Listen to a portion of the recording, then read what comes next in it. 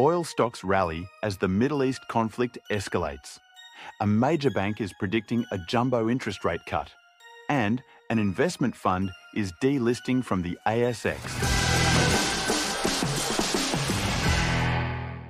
This is the Grafa Daily ASX Market Update.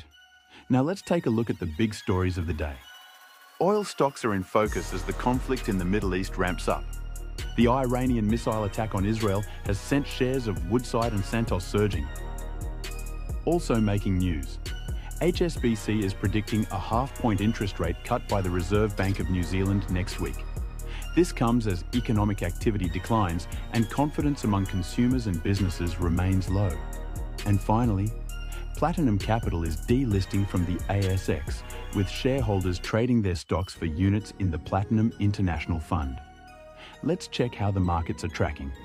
The ASX is in the red, with material stocks leading the decline. Stay up to date with all the breaking news as it happens by checking out grafa.com.